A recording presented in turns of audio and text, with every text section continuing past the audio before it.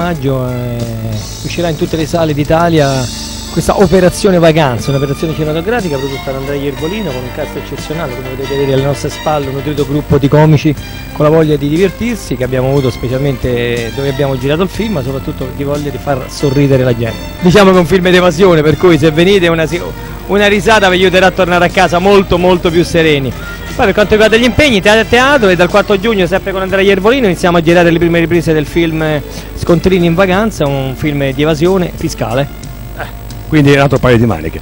Bene, io Enzo ti ringrazio a nome del Museo Eventi, grazie.